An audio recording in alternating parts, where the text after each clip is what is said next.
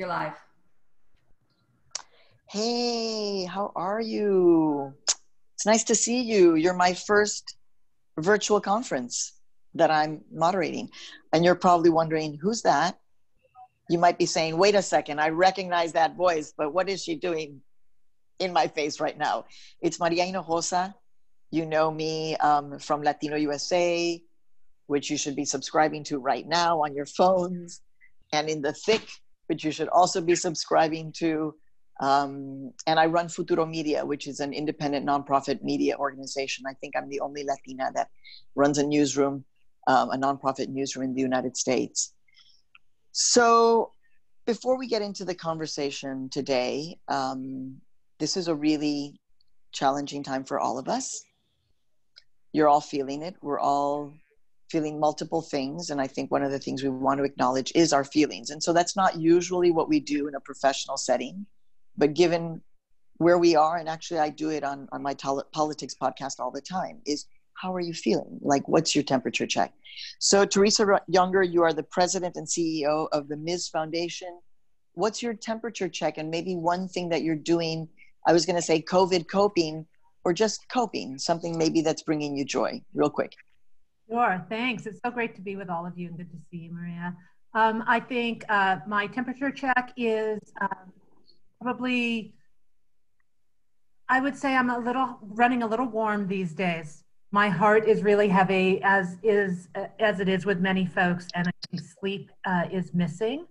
But uh, I do think the thing that is uh, bringing me hope in so many levels is in someone seeing the communities come together and for me a recognition of what is happening uh, in the with black and brown women and our leadership in this moment in time. Brings me joy to see that and the and the, and the young people that are doing it.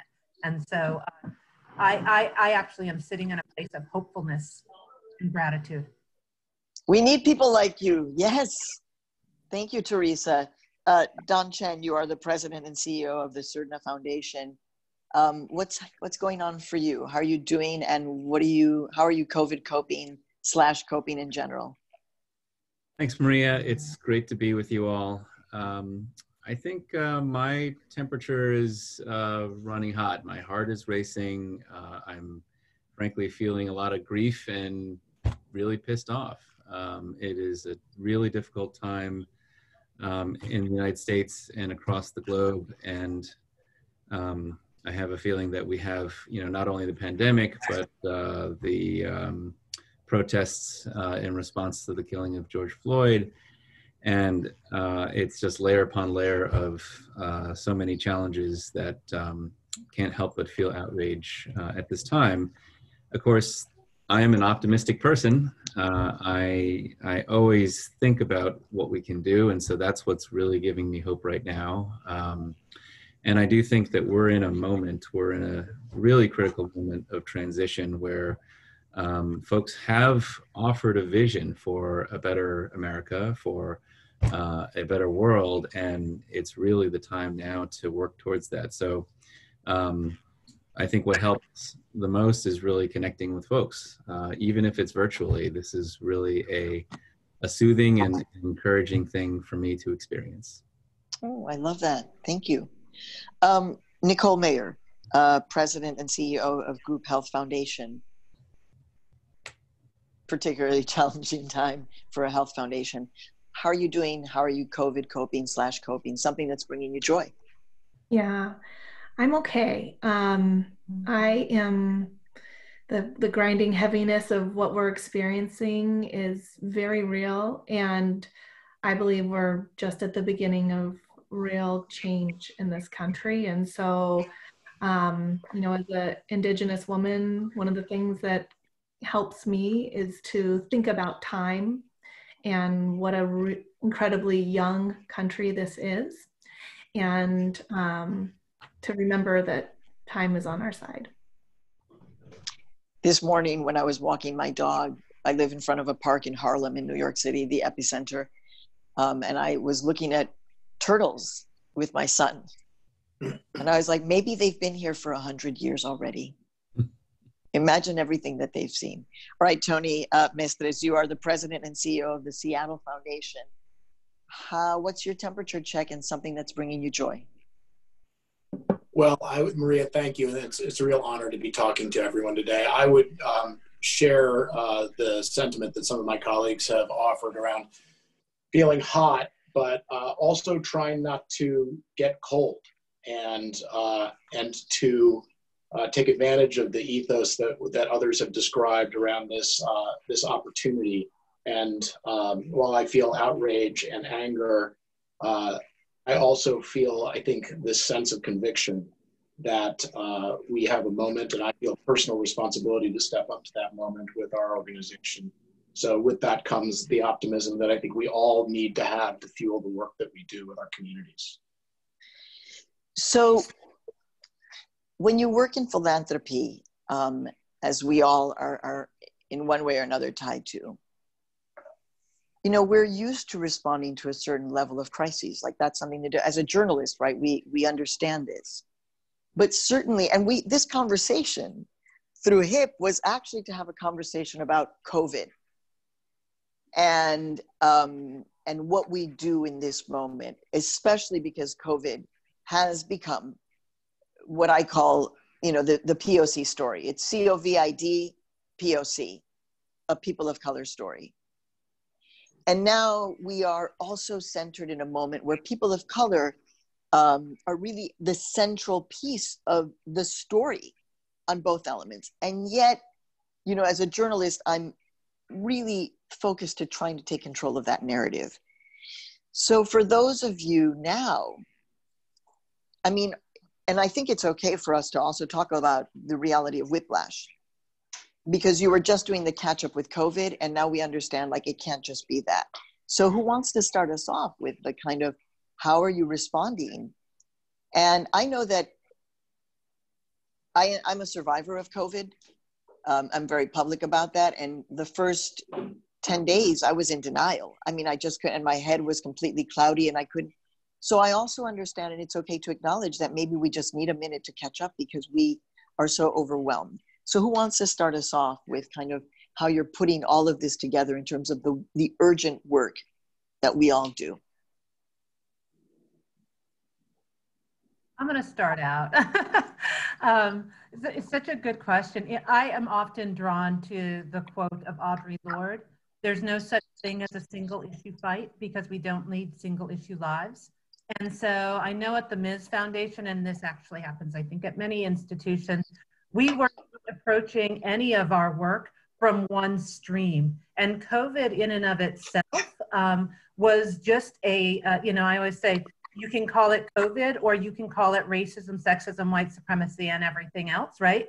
Um, and how it is hitting us is really based on um, the fact that we carry so many of these disparities and it is disproportionately affecting us because of that gap and what those disparities look like. Um, so I know what we are doing is um, actually doubling down on what we have done before, which is let's not rely on systems that were not built for us to be the ones that save us at the end of the day. And let's help to deconstruct them and lift up the voices, particularly for us, women and girls of color, to be able to present the solutions and to give room for those solutions not to be perfect many of us have had to live in systems that were broken and asked to accept it. What if we proposed a new solution that didn't do that? And so for us, we're trying to make sure that we give room for our emotional and our physical health in this process.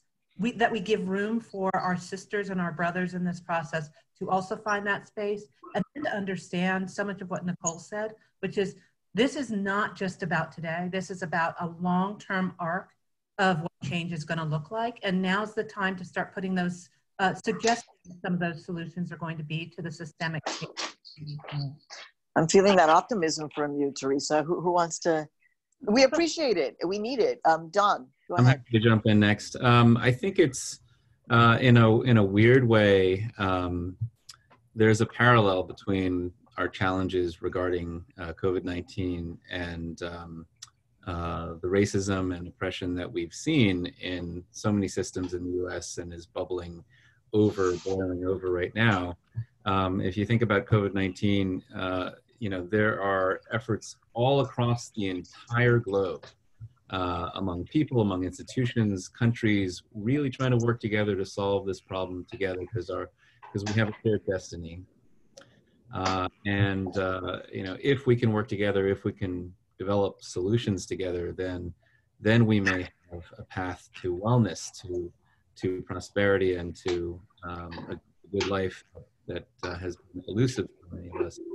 I would say the same thing goes for other global challenges like climate change and uh, that we face regarding um, racism in the United States. Uh, it is a time uh, for only you know we citizens, residents of uh, this country, um, to really work together, uh, to pull together to, to come up with solutions. Um, uh, but it's also something where we're seeing solidarity coming from uh, marches in other countries. There have been marches in Brazil and Poland and Syria and Australia in support of um, justice for George Floyd. Um, so I really see the solidarity piece being critical. Um, I started this month um, thinking about Asian uh, American Pacific Islander Heritage Month here in, in the United States last week I started writing a blog post and, and realized that um, uh, the thing that we all need to do is to express solidarity because,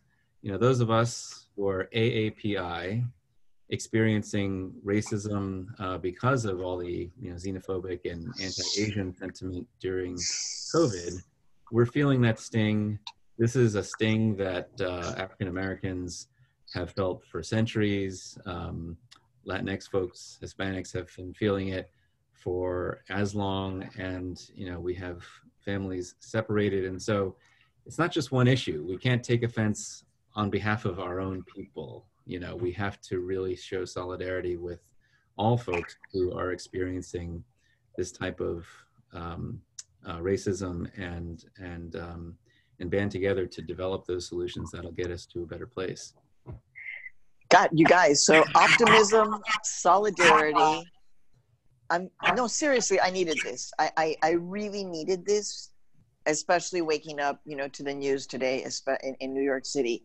Um, Nicole, Tony, who wants yeah. to jump in? Go ahead, Nicole. Um, so um, I was a person who talked about time in the beginning, and you will hear me bring up time again. But in this moment, I want to bring impatience and urgency. And so, you know, I think about what's front and center on my mind. And I, I actually get a little frustrated when philanthropy is a little too self congratulatory about how we have switched to general operating grants or made our processes easier or began to trust that communities always knew what to do. Um, we should have always been doing that. We should, that is a proven practice for excellent grant making. And so I'm, a, I'm like a little bit glad that we've started to do a better job at that, but I'm really careful when I talk about the work of Group Health Foundation to say um, that's what we have already been doing. We should just be doing more of it um, because it's a best practice. I think the other part is that now more than ever, we should shed our fears around investing in long-term political power building and explicitly resourcing um, the communities who carry the greatest burdens to organize, to build power, to have long-term sustainable infrastructure and capacity. Um, I know it's not any news to anyone in this audience that um, folks who hold an equity ideology, um, folks who I consider to be aligned in, in much of the worldview we bring to the table at Group Health Foundation. Um, we are also the part of philanthropy that tends to invest in services as opposed, as opposed to political infrastructure and civic health. We tend to be very fearful about how to get resources to C4s and organizing and advocacy and campaign work.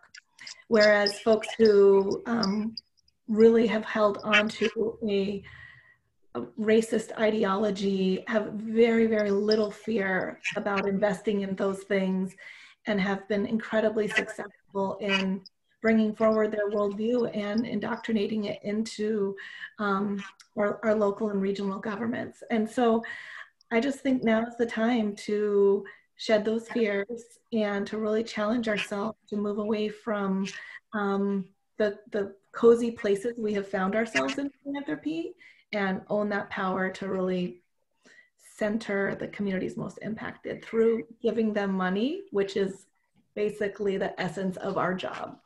You know, Tony, if it, if it wasn't for all of those think tanks, the conservative think tanks that were being funded by philanthropists who knew, as Nicole is saying, kind of the bigger picture, um, yeah, we, we, we would be at a different spot. I'm also thinking about this morning um, when I checked in with the New York Times, which I do or don't do every day, depending on how I'm feeling. But today, the first headline was, Let's hear voices of the protesters.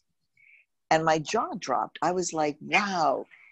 That is not to say that all the media gets it, but it was a moment where it was like, thank you for centering the protesters and not this other thing which is a you know a whole other situation so tony how are you managing um, the realities of what's being called for you um, as somebody in a foundation, a very important city in this country in terms of leading progressive thought and, active, and action? Thank you, Maria. Um, yeah, and to build on on my colleagues' comments and, and some of Nicole's in particular, I think that uh, the crisis, the first you know public health crisis, and then the economic impact as a result of that on our most vulnerable communities, has uh, has allowed us to cement our equity principles and our practices relative to things like centering on race, uh, things like elevating community voices, uh, in a way that because of the urgency of the crisis and how we were, uh, I think, successful in bringing uh, business as well as philanthropy uh, uh, front and center with the community to address this, what was a uh, more uncomfortable set of uh, uh, dissonances is now an immutable practice that we must, in fact, do things that work with community based organizations that are deeply rooted in the most vulnerable communities, recognize the uh, inarguable data associated with the impact of this crisis, both health as well as economic, on people of color, uh, to work to support populations like undocumented people uh, so that we are uh, are really living our principles. And while it's almost impossible to to paint anything that, that's going on uh, in terms of the the uh, the the bright light through all of this crisis, I do think that that is true. And community foundations are in an interesting position because we advise thousands of philanthropists. Um, many of whom uh, are white and, and represent uh, power and privilege and so we feel an obligation to step up to that moment as an opportunity to bridge the community to that type of to those principles, to those values. In the worst days, you know, philanthropy organizations doing what we do are philanthropic pets of white power and privilege. And in the best days, we are actually taking responsibility to lead and to educate and to bridge people who may not have the lived experience may not have the knowledge of what uh, we need to do to support our equity principles. And I think some of that bridging is happening right now in a meaningful way. But uh, you know, last night I'll just end quickly by saying last night uh, in my neighborhood there was there was tear gas stinging people's eyes, uh, and we had uh, uh, people out for the you know the the third night protesting. And as many of the leaders in our community are making sure that we uh, we espouse. Uh, many of those protests are deeply rooted in things that must be vocalized, and uh, I'm proud to to be partnering with many of the folks who are uh, protesting uh, very validly and with great substantiation the things that need to change right now. So there's the sense of um, of urgency, but also Nicole talked about patience, and I'm I'm also somebody who has both things like all of us going on at the same time. I try to be a little bit slower in terms of response and understanding, like, um, you know, that there's a complexity behind everything that we're going through, but also this sense of, of, of urgency and not acting enough. Um, how do you put that together in terms of your philanthropy um, and and the urgency that you know exists on the ground and whether or not you're feeling like you're able to respond with the equivalent amount of urgency um, and how you're managing that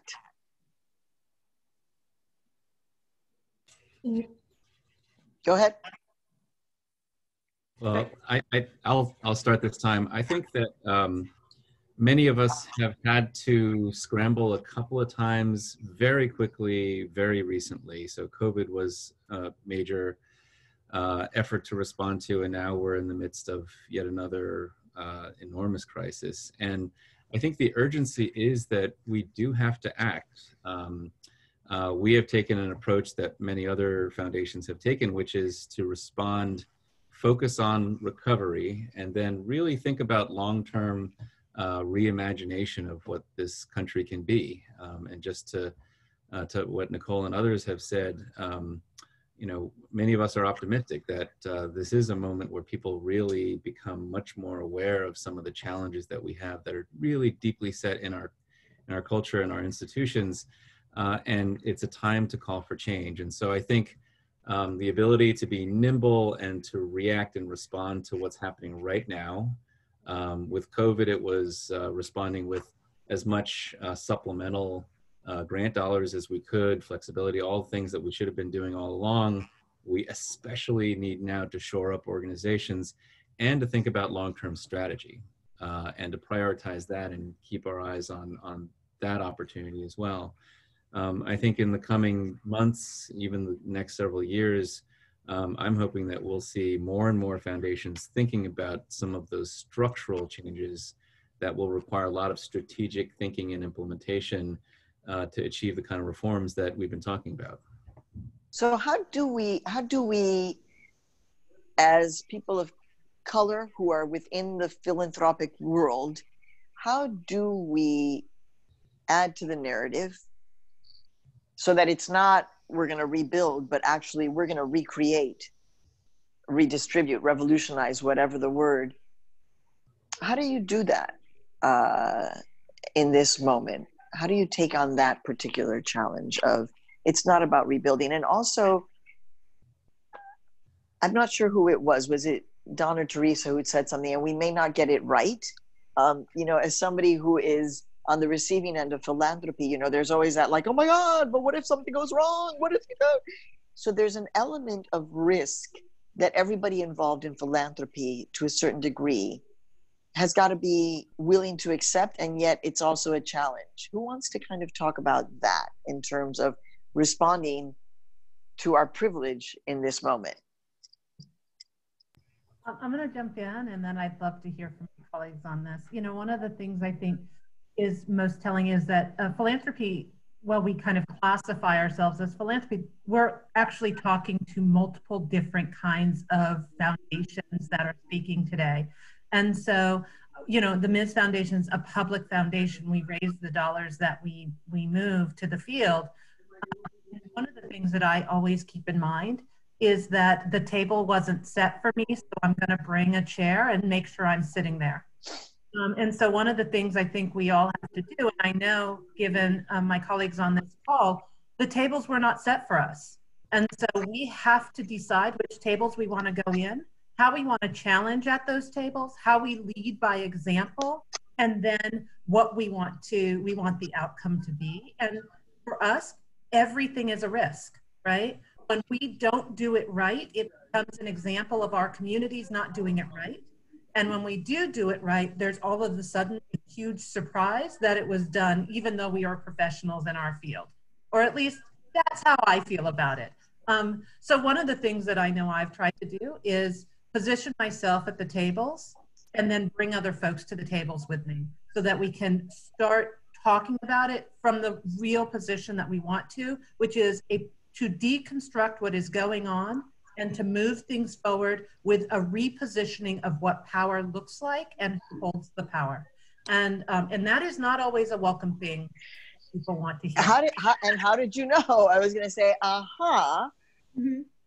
Um, one of the questions that, um, that, that was just given to me um, through HIP was that um, you know this notion, which we all know, right, which is that um, I, am so happy that I lead um, an organization that is led by women of color, and that is majority POC immigrant um, women, and so I, I feel so blessed.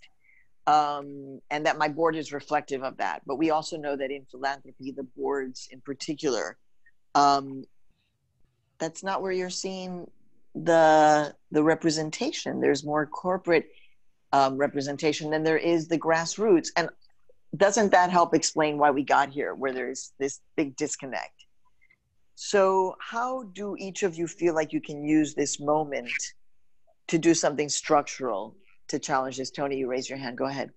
Well i think that the um, before the crisis, uh, the COVID crisis hit, we were constructing a, a vision of shared prosperity where our entire community has uh, opportunity, regardless of geography, identity, um, or, or, or really uh, any other set of circumstances that we know are fueling the inequities that, that are built into the systems we're trying to reconstruct. And I think that shared vision has legs to it and it has legs to it in terms of uh, you know you take the perhaps the most hostile audiences to that shared vision and increasingly we recognize that empirically we all do better when we all do better you you then add the values that i think that with a degree of education and experience and relationship more and more people can adopt and bridge to uh, to a place where they can support that type of shared vision.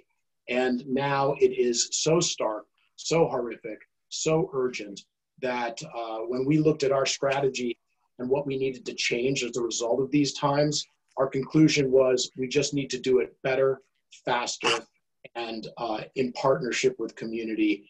Uh, and it is a it is a window of opportunity that we are committed to not squandering. I think that's uh, Oops, sorry. I was trying to avoid the kitchen sounds, but there you go. Go, go ahead, Don. Yeah, I, I want to reinforce what uh, uh, and, uh, and Teresa have just said, which is, um, you know, I, I do think that uh, if you look at all of the different possible tools that philanthropy has at its disposal, there are many. Uh, there's convening, there's grant making, there's you know public leadership in your community. One of the things that um, grant makers are not very good at uh, which frankly journalists, writers like you, Maria, are much better at and very good at, uh, is uh, really shaping the conversation, really telling a different narrative. Um, and when we think about structural change, um, I think journalists such as yourself, uh, yourself uh, through podcasts and whatnot, books, um, really can help us uh, understand what's going on uh, get people to think differently about what's happening, uh, really understand with accuracy and, and values attached to it um, a different story than we're normally fed. Um, and that's why it's, it's so important to really pay attention to what's happening on the ground in terms of reporting. Um, and, and that's where philanthropy can really learn a lot from, from your sector. You know, Interestingly, a lot of people don't necessarily make the connection between the framing of the the narrative and the stories and the role of journalists but i think if you think about what we're witnessing right now or just over the coverage of covid um, as i had said as i said on the thick you know most of the mainstream news one it's not diverse but they don't necessarily do a good job of covering communities of color to begin with exactly. why do we think that right now during covid that they're suddenly going to become expert at those communities. And so then my concern is that we become more invisible to the mainstream. The other side of that, the optimistic side, right, is that I have my own company. We do what we want. We set the narrative. We do it, but you we I always feel like I'm fighting this bigger bigger challenge. Nicole, you wanted to jump in. Go ahead. Well, I'm I'm still my mind is still on a different topic. So if you want to keep with that, no, go go back. Go, go, go. Well, um, my mind is frozen in that earlier conversation we were actually having about risk and how we're thinking about risk in the field and you know um, you know, I came to this work as an advocate. I started out as a executive director of what began as a small American organization that grew over 12 years, in part because of philanthropy. But you know, our first few years, we, received no money from philanthropy. We were um, the ninth largest Native community in the United States. Every bad indicator we could have had, we were the worst. And just mathematically speaking, if you wanted to improve graduation rates, decrease foster care, improve health, there was no better community to invest in, very similar to um, every other community of color. If you want to improve an outcome, it's the best way to go, regardless of how you feel. And yet, philanthropy gave us no money. The only way philanthropy could have given us less money is if they came to our nonprofit, broke in, and stole a computer. Um, and we were given all the reasons. We, you know, were we ready? Did we have capacity? The, the whole, whole list. You've all heard them. It's sort of like the, the little handbook of dog whistle philanthropy racism. And the only reason I share that is um, it's like in that situation, what we decided was that there was zero risk for us to raise hell, organize with other communities of color, and frankly begin to publish reports about all of the ways that money were not going to Black communities, we're not going to Latino and Latina communities. And so I, I would just say, um, I think we are a field that manifests some fake risks. And when you look at the, the pattern of grant making in our field, about our lack of investing in organizations um, ran by women of color. Um, you know, I see particularly troubling patterns for um, Latino and Latino communities across Washington state where we're primarily focused, where the way that the word equity has been corrupted is that white organizations take up the cause on behalf of community and apply for resources to do charity for and philanthropy co-signs that by investing in white-led organizations to do services to and for communities right. as right. opposed to those communities. And so to me, that corruption of the word equity, that's the greatest risk that we're facing. Our inability to have an iron fist and hold on to those values and to follow through with our actions, like that's the risk I'm talking about. And so I just wish we would break up with this idea that it's reputational risk or political risk and really remember that it's the impact that we're jeopardizing when we we don't follow through with the right that, that that if you only focus on that kind of risk or even a financial risk then what's it all about? Tony you wanted to jump in.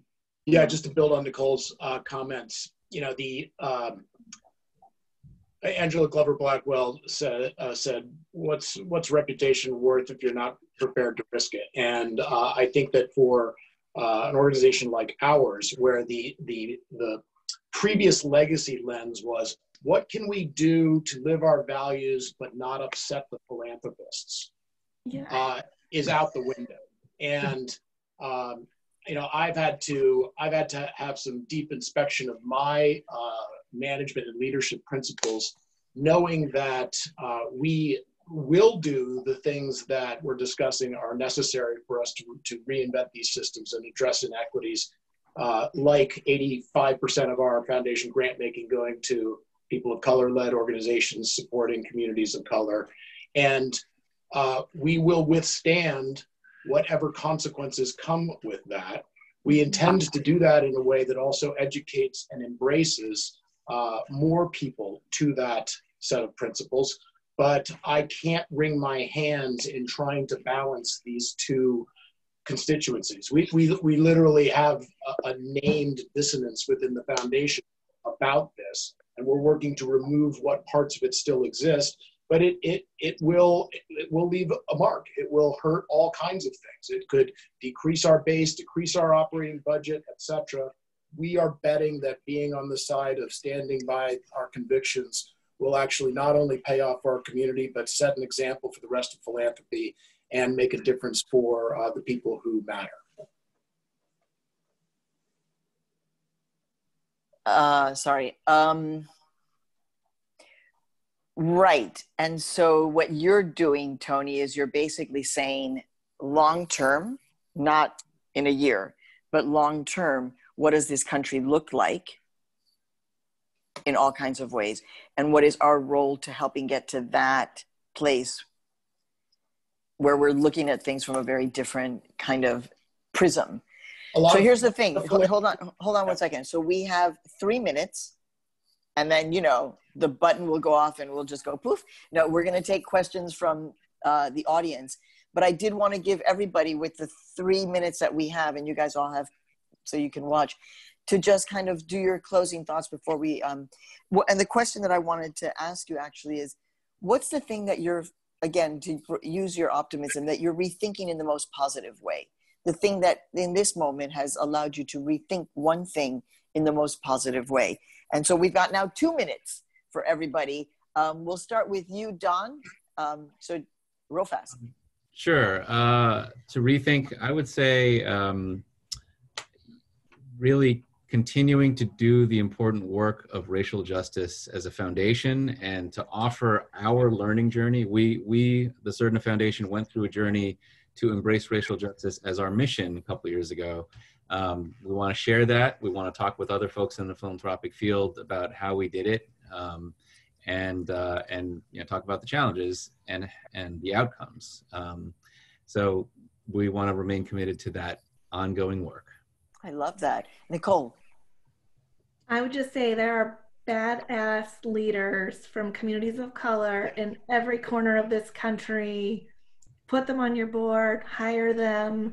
Anyone who says they can't find them, obnoxiously interrupt that lie and um, help our country have leadership that matches who we are today. Love it. Tony. I think it's hard to demonize somebody that you know. And relationship building and having a whole community narrative, I think, is a propellant that um, can help us really execute on all of the things that we're working on right now. And uh, that is, there's no playbook to that that I've seen. Uh, so we have to write it together. Great. Take us out, Teresa. Yeah, I don't know if it's a rethink or just a affirmation of the fact that we really have to um, listen to, trust, and believe women of color in the solutions that they put forward for us. And we have to do that in a, in a place of urgency but then we have to do it by investing in second and third lines of leadership within all of these organizations and institutions so that we do not burn people out but we build them up. And i'm not rethinking it but i say it's really important that we start speaking our truth to the reality of what we are trying to do and the world we are trying to build okay so i we do have we do have a question from the audience um, can I go ahead and do that, Ana Marie? Okay. Um, this is um, if there is no representation from LGBTQ people with disabilities and communities of color within foundations, the money will continue going to white led organizations um, that have the networks to wealth. Okay, that's a comment. Um, hold on, let's see. A one portfolio. Okay, I'm not exactly seeing a question here. So, um, Ana Marie? Great. Well, then uh, Mr. Gil Peñalosa is waiting for us in the next room. So let's wrap up this session. It was fantastic. I learned so much. Maria, you are always brilliant. First Zoom, I see a whole long career in front of you moderating Zoom calls. and to our fabulous panelists, thank you very much for kicking us off in the day. Um, and we will look forward to sharing during the next couple of days. So um, creating a vibrant and healthy cities for all is in the next room. You just leave this one and then start in the next one. And we'll Bye, everybody. There. Thank you. Bye. Thank you. Gracias.